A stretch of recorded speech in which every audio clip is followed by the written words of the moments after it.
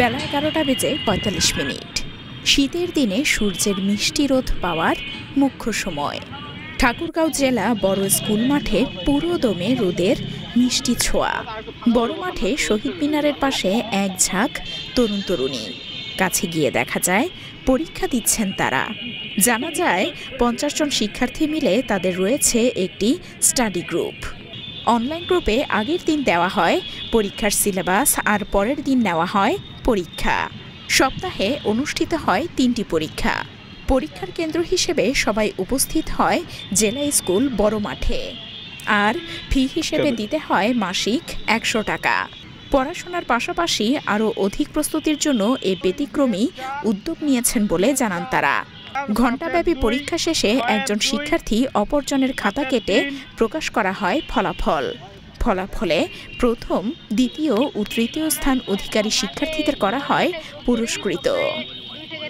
মাঠে বড় মাঠে গ্রুপ করি সপ্তাহে দুই থেকে তিন দিন। তো এই গ্রুপে আমরা গ্রুপ করে অনেক ভালো উন্নতি পাইছি ভালো কিছু করতে পারব। সামনে পরীক্ষা আছে আমাদের এই পরীক্ষাতে আমরা ভালো রেজাল্ট করতে পারি। এই রেজাল্টের জন্য আমরা মাঠে গ্রুপ করতে আসি। এবং আমাদের প্রিপারেশনটাকে আরও স্থানিত করার জন্য কারণ আমাদের সামনে অনেক এক্সাম আছে, আমাদের জব এক্সামগুলো আছে ডিসিএস আছে সামনে। এই জন্য আমাদের ভালো একটা প্রিপারেশন নেওয়ার জন্য একটা গ্রুপ হলে আমাদের সুবিধা হয় যে আমরা রুটিন মাফিক পড়াশোনা করি এবং রেগুলার পড়াশোনা করি। তাতে আমাদের কম্পিটিশন অনেকের মাঝে এক্সাম দিই আমাদের কম্পিটিশনটা ভালো হয়, আমরা মানে নিজের মধ্যে কনফিডেন্স খুঁজে পাই। এই জন্য কিন্তু আমরা প্রতি সপ্তাহে দুদিন বা তিন দিন এক্সাম দিই।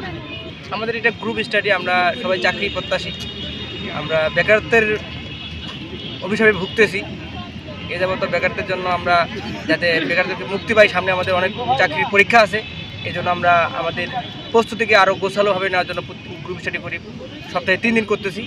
এটা আমাদের জন্য উত্তর উত্তর একটা ভালো ফলাফল নিয়ে আসবে বলে আমরা আশা করি। তাই জন্য আমরা সবাই এখানে গ্রুপ করি। বেকারত্বর কারণে আমরা সপ্তাহে এখানে যেন চাকরির প্রিপারেশনটা ভালো নিতে পারি এই জন্য সপ্তাহে আমরা এখানে তিন দিন গ্রুপ করতেছি যেন আমাদের প্রিপারেশনটা অন্য অন্য তুলনায় আমরা একটু এগিয়ে থাকতে পারি। এটা আমরা চাকরির ক্ষেত্রে অনেক ডেভেলপ লাভ করব যেন আমরা জীবনে একটা গেন করতে পারি। এই আশায় আমরা প্রতিদিনই সপ্তাহে তিন দিন এখানে আসি। আজকের পরীক্ষার বিষয় ছিল গণিত। আজকে পরীক্ষায় আমি অংশগ্রহণ করে প্রথম স্থান অধিকার করছি। আমি একশোর মধ্যে ছিয়ানব্বই দশমিক দুই পাঁচ পেয়েছি। এবং আমি আরও যেন পরবর্তীতে ভালো করতে পারি, এই আশা ব্যক্ত করতেছি। আমরা দু হাজার বিশ সালের পাঁচই নভেম্বর থেকে শুরু করছি।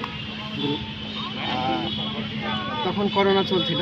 এই করোনা মহামারীতে আমরা আসলে শিক্ষা প্রতিষ্ঠান বন্ধ এবং কোনো কোচিং এ আমরা গিয়ে চাকরির প্রিপারেশন নেব, সেটাও পাচ্ছিলাম না। তো নিজে আমরা, আমি যখন চিন্তা করলাম যে আমরা কীভাবে আমাদের চাকরির প্রিপারেশনটাকে আরও ভালো করতে পারি, এই করোনা মহামারীর মধ্যেও আমরা কীভাবে একটা করতে পারি এই জন্যে আমরা ফাঁকে ফাঁকে মানে দূরত্ব বজায় রেখে মাস্ক পরিধান করে স্বাস্থ্যবিধি মেনে আমরা দু হাজার বিশ সালেই চালু করছি।